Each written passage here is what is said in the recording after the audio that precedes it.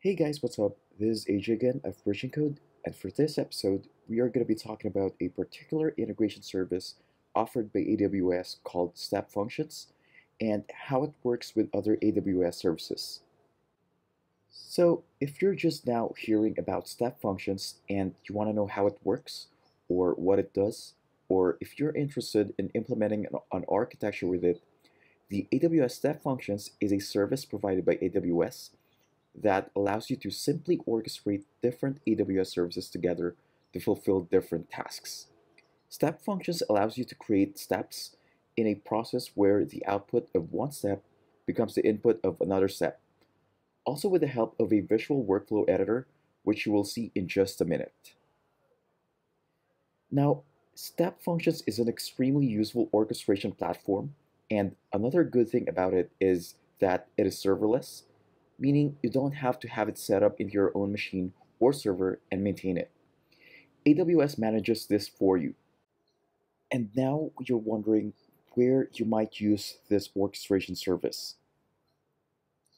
One popular use case of an orchestration like AWS Step Functions is that it pieces together different microservices in a microservice architecture. In AWS, commonly this microservice could be a Lambda function but other services may also be defined as a step like a DynamoDB or Amazon EMR or SQS or SNS and so on to perform a particular more granular unit of work. Like, for example, in our illustration here, a Lambda function and AWS Fargate have been defined as steps to perform the encoding of a particular image.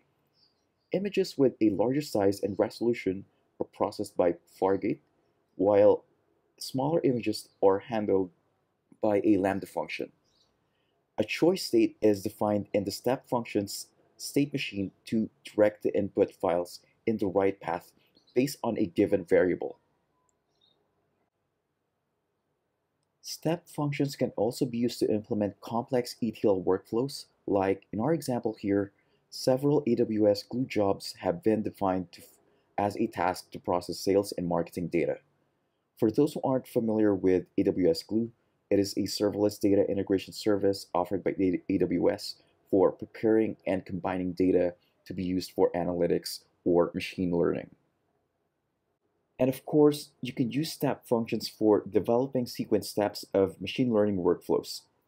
For example, in our illustration here, again, an AWS Glue job has been defined as a task to produce the data that will be processed by a series of Amazon SageMaker tasks, which is, a, again, another step or task. Now, you've heard me mention states, tasks, choices. What exactly are these? Well, a state is an element in your state machine, and this state machine is something you create to define the states or steps of your workflow.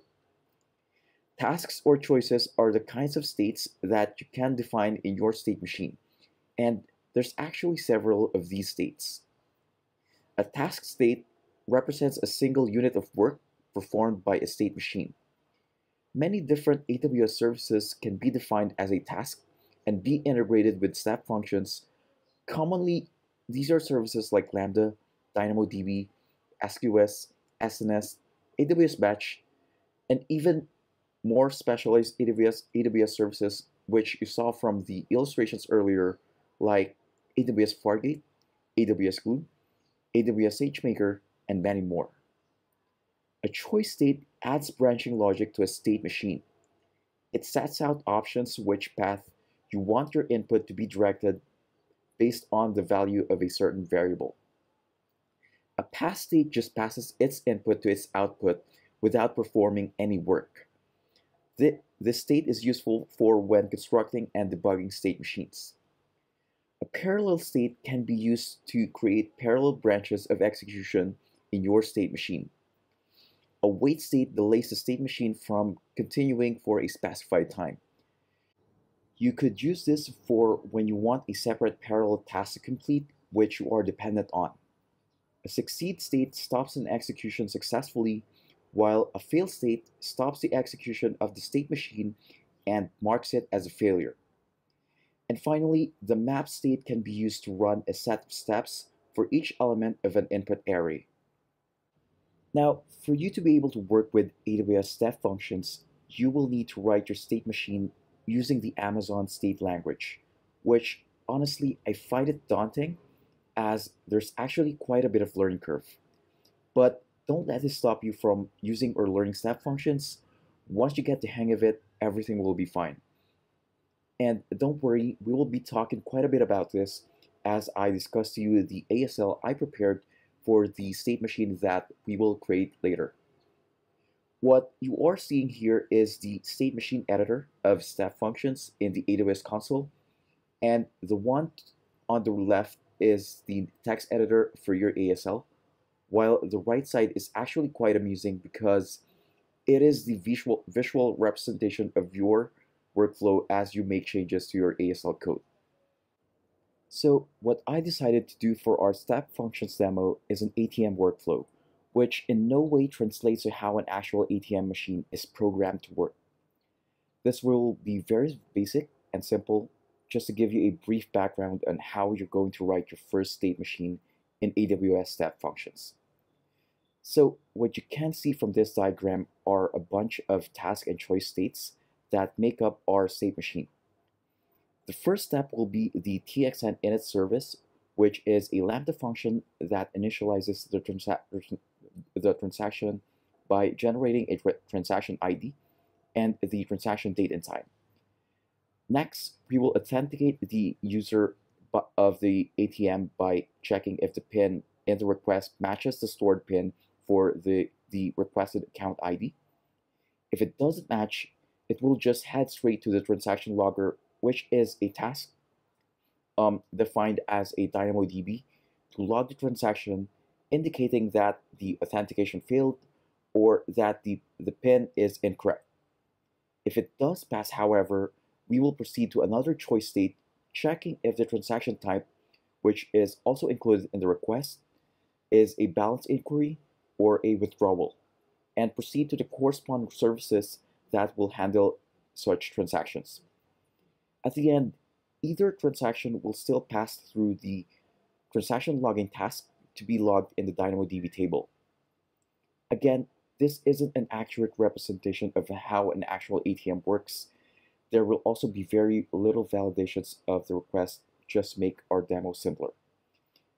And you will notice later that this diagram resembles the visual workflow displayed in the AWS console, as you saw, saw earlier from the previous slide, once we finish coding our ASL for the state machine. Now, before you create your state machine, please ensure that you already have a role with all the policies to work with the AWS services you need attached to it. Um, for my case, I have attached an AWS Lambda role because our state machine will be invoking some Lambda functions and a DynamoDB access to save transactions into our DynamoDB table. Now let's head over to step functions and under state machine, click create state machine. Um, there's not much to change here. When creating a state machine, you can choose which type you want to create, either a standard or exp express. Normally, you would use standard for things like ETL, machine learning, or um, order fulfillment, like for your online store or retail or shipping. And um, Express is more recommended for event-driven workflows like for IoT, data streaming, or for when you want to use it as an orchestration for a uh, microservice architecture.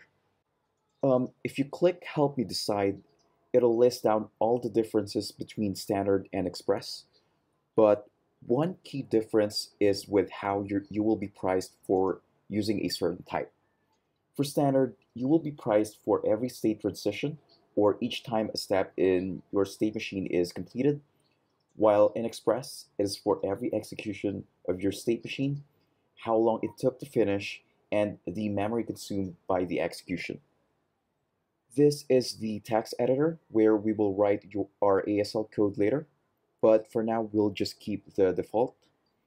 Um, and this is the visual workflow, which is the graphical representation of your ASL code.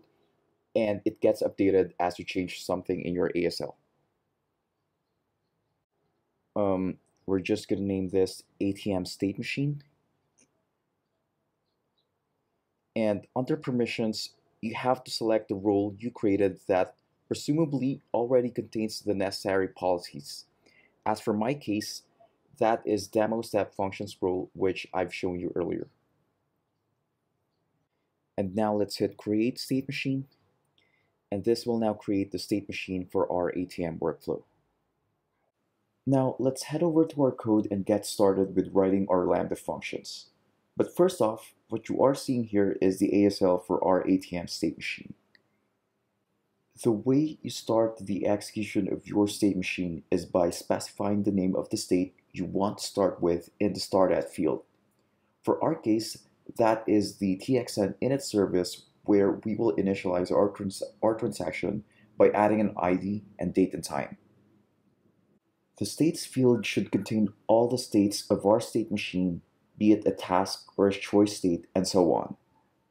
Then, this is the block of TXN init service, which is a task state where we will start when the state machine is triggered.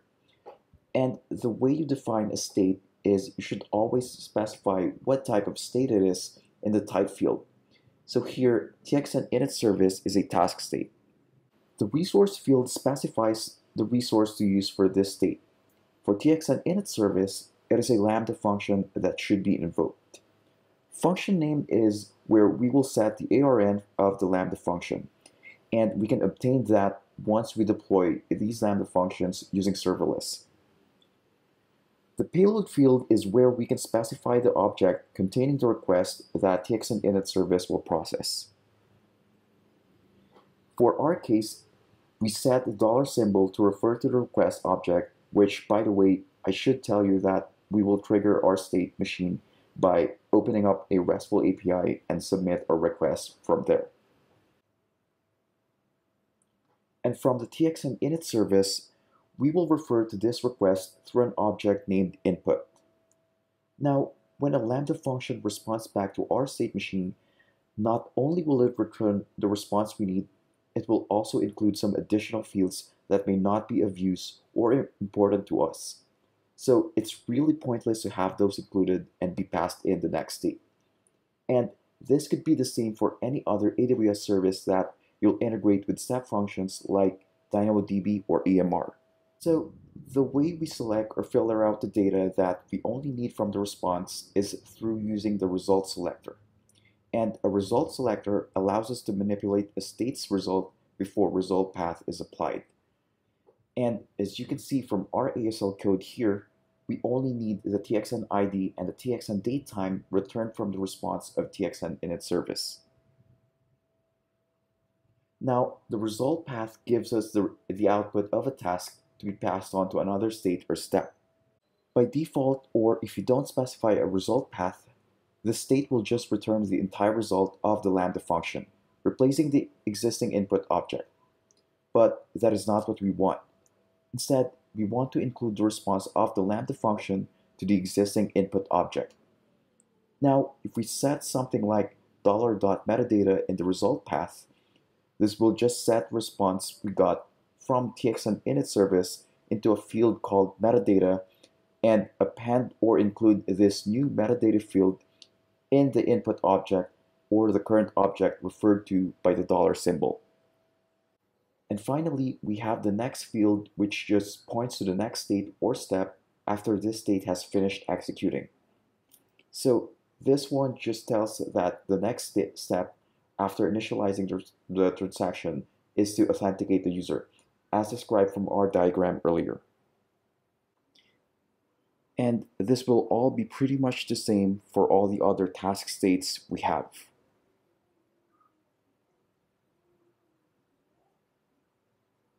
Now, if we refer to the auth service, you will see that the Lambda function for auth service will return a boolean if it's authenticated or not, the status of, of the transaction if it's successful or failed, and the message which may include the error message if there are any.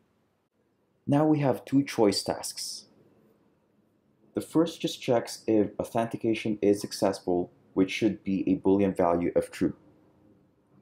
If it is true, it will just proceed to the next choice state, which is a transaction type. If it's false or anything else, it will just default to our transaction logger. The next choice task just checks if the tr transaction type is a blank string or a withdrawal string and just directs them to their corresponding task states, which are also defined in this ASL code. Now, our final state is another task state, but it will be a DynamoDB resource to add transactions in a DynamoDB table. If you are familiar with the AWS SDK API for DynamoDB, this just resembles the parameters of the put item method. The table name will be transaction logs, which we will create also using serverless. And the fields are the transaction ID, the account ID, transaction type, status, message, and transaction date time, all of which can be obtained from the input object that got appended and passed on to different states. We also included the end field here and set it to true, indicating that this is the final step in our state machine. Now, what I'm going to do is copy this ASL code and paste it to the text editor of our state machine. And as you can see, the visual workflow to the right got updated and it kind of resembles our diagram from earlier. Later, we will paste the ARNs of the Lambda functions here once they have been deployed. So, um, let's save this. Now, I will just copy the ARN of our state machine and paste it to our serverless.yaml file to give our Lambda functions function the permission to trigger the state machine. Now, I will be using the serverless framework to deploy this on AWS with the serverless file where the Lambda functions, the DynamoDB table, and the permission to trigger the state machine are defined.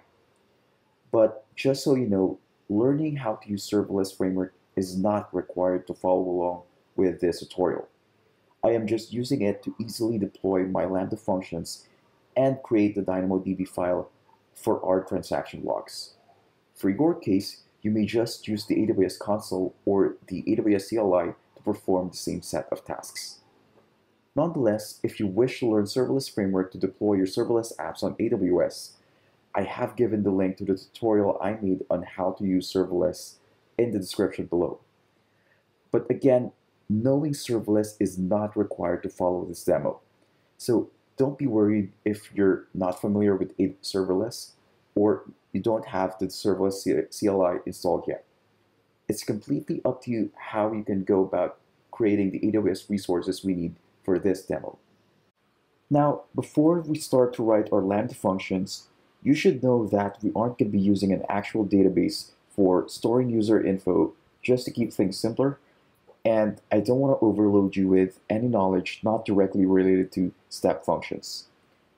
So what I did here is to just write a JavaScript object containing the ATM users identified by an account ID with some included details like the remaining balance and PIN.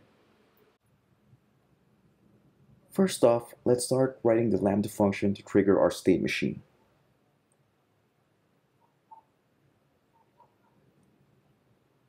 Functions, step functions, uh, sports, caller,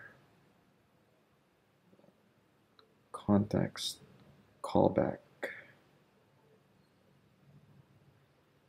const params, state machine, ARN, body,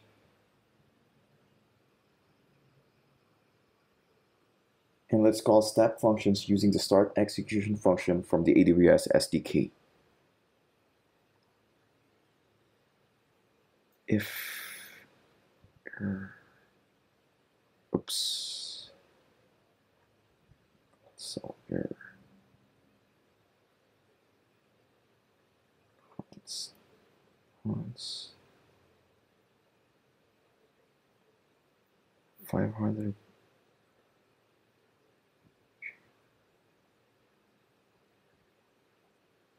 uh, an error occurred. Error. Callback.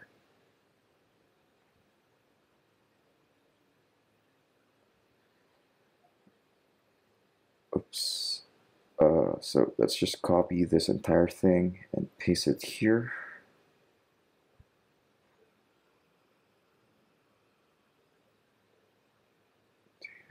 turn 200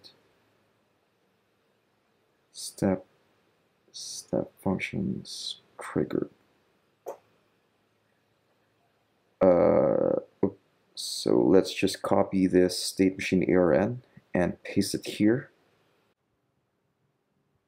Uh, now let's write the, the TXN init service.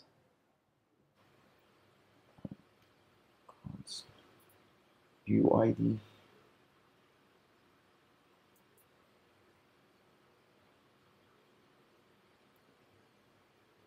So init event context callback.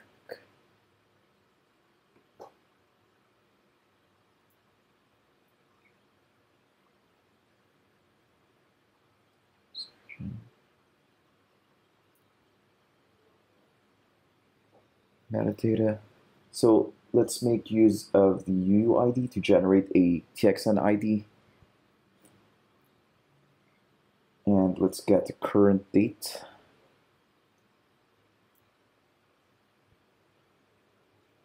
And ISO stream. Let's return this null metadata. Um, next is we will write the auth service.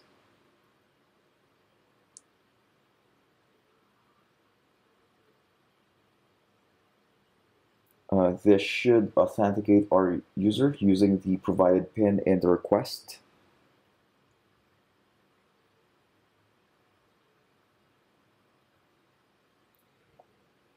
Auth event um, context callback.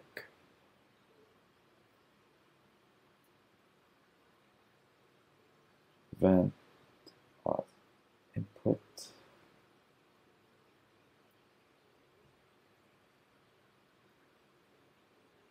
Counts mockdb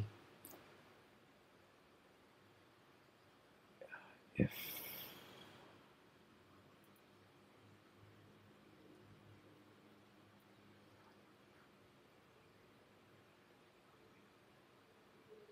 yeah.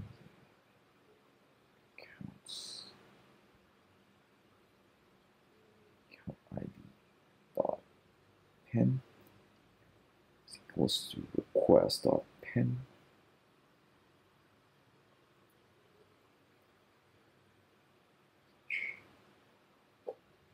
count is um, authenticated.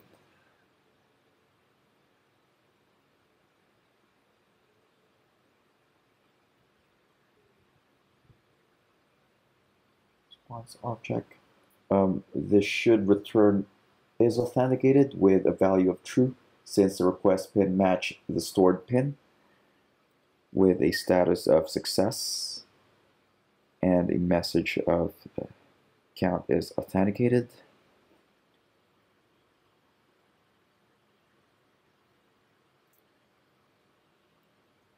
If it doesn't match, um, is authenticated will be false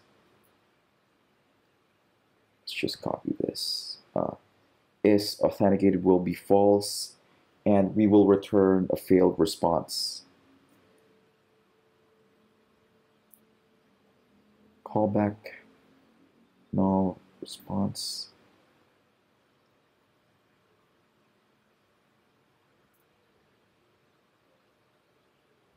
Um, let's write the Lambda function for balance inquiry service.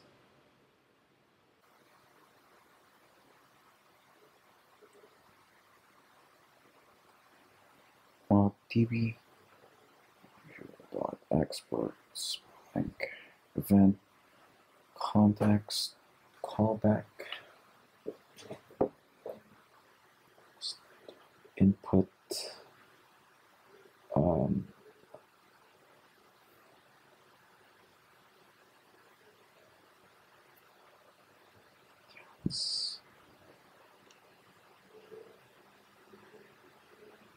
your balance is dollars.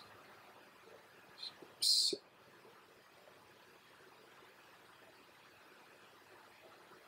Account quest dot account ID balance.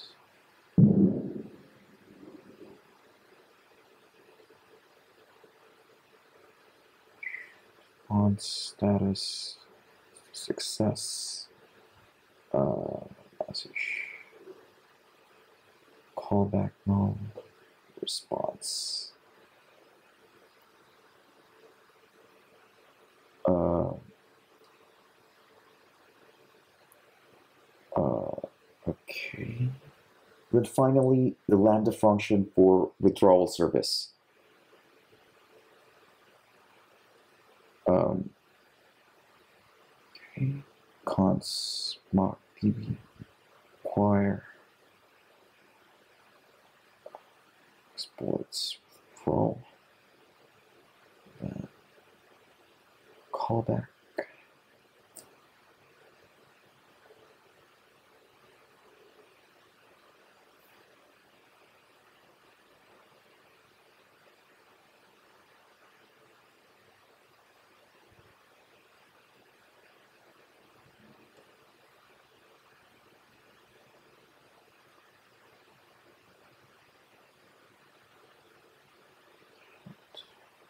request than equal to counts count ID balance.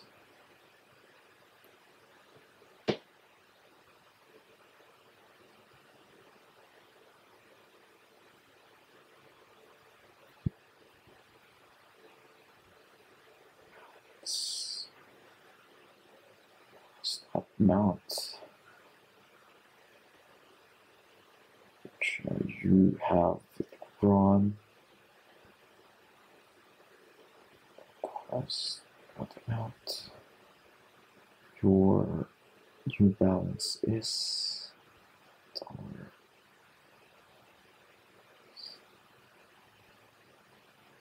log response object. Return the status of success. The message.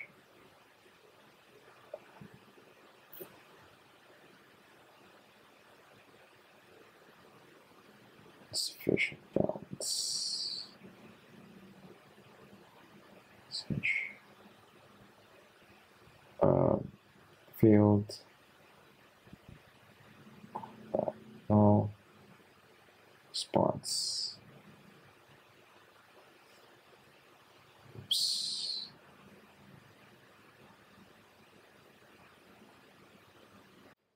So let's build our code to deploy our Lambda functions using serverless. Uh, SLS deploy. Again, you don't need serverless for this demo. You can just make use of either the AWS console or the AWS CLI to create AWS resources we need, like the uh, Lambda functions and DynamoDB table.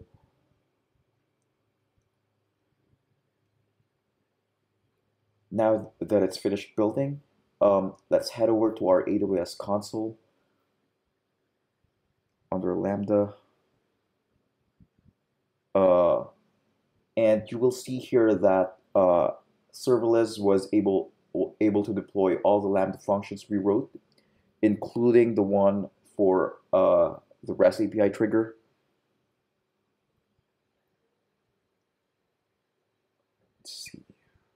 just gonna open all these uh, lambda functions in a new tab.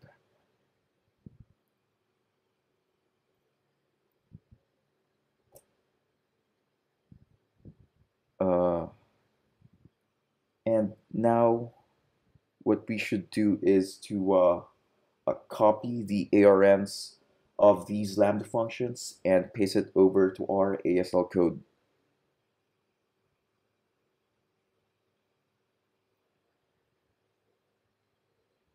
Auth service.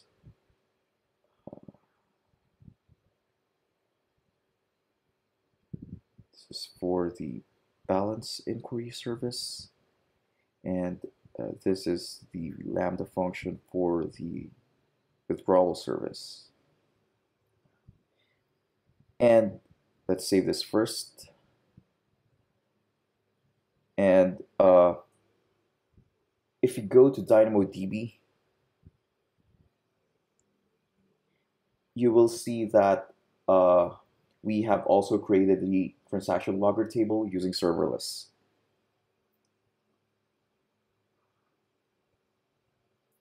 Now uh, let's copy this, this URL to trigger our state machine and paste it over to Postman.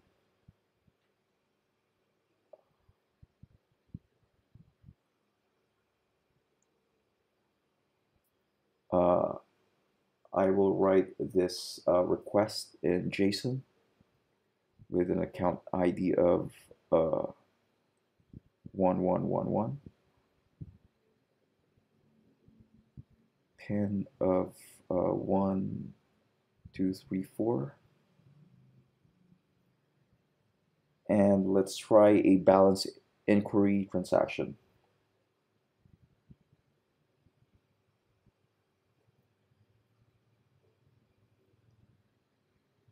And hit send. As you can see, it appears that uh, we are able to trigger our state machine successfully. And if we go back to our console in step functions, uh, as you can see right here, we have one execution. And if you go to this execution, you will see this uh, visual workflow. And as you can see, everything went through when we triggered the state machine uh, it first went to the txn init service, which is a Lambda function. If we check the step input, you will see the request we sent from our RESTful API. It is a balance inquiry transaction. Uh, and under step output, the result is the object as the input, input, except that we just added the new metadata field in the result path, which is the response from the Lambda function. If we go to auth service um, under step input, uh, you will see that we just passed in the same object responded by the previous step, which is txn init service.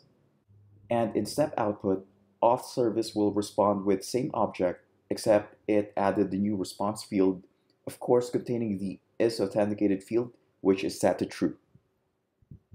There is also the is authenticated choice state here, uh, and since it's set to true, it proceeded to the next choice state, which is a transaction type. And as you can see from this input, this is a balance inquiry transaction. So it proceeded to the balance inquiry service and to the final step, which is the transaction logger to be logged in the DynamoDB. And in DynamoDB, you will see that we have inserted the balance inquiry transaction, which is th this one.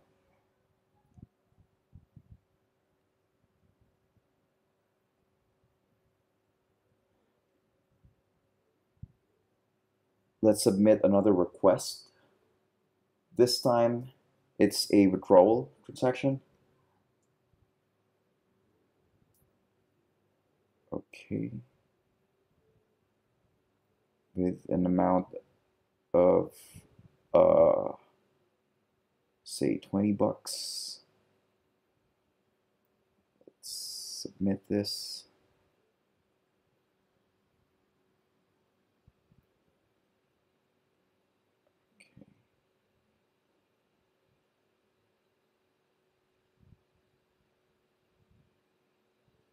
This is our new execution and if we check this uh, you will see that the flow also completed except that this time it's now a withdrawal transaction.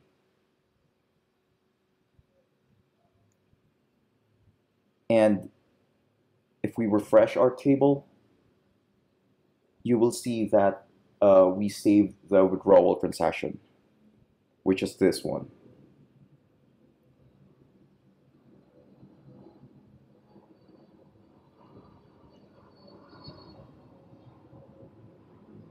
This time, let's submit a request with an incorrect PIN. Okay. And if we see our visual workflow, this is the execution. And in this visual workflow, you can see that the execution also completed, except that since we entered an incorrect PIN, it failed to authenticate and just went straight to the transaction logger. And if we refresh our table, where is it? Ah, it's this one. You will see that it also logged the failed authentication we did, which is this one. As you can see, our step functions state machine is completely working. We built the resources we need, including the, the Lambda functions and the DynamoDB table using serverless. We then specify the ARNs of the Lambda functions in our ASL code. Now, you might be curious, can we also make use of the serverless to create the state machine configured with the same ASL code? The answer is yes, we could have, but since this is an introductory demo of step functions, um, I wanted you guys to see the native creation and monitoring of your state machine from the AWS console. Also, building and deploying AWS resources using the serverless framework is not within the scope of this tutorial. But again, if you want to learn how you can go about doing so, go ahead and check the tutorial I made about AWS and serverless which I've linked in the description below. This code is also uploaded on GitHub, which I've also pasted the link in the description below for you to easily refer to. So that's it for this tutorial. Hope you guys liked it. If you have any questions, feel free to drop them in the comment section and I'll try to answer them. Don't forget to hit like and subscribe and thanks for watching. Bye.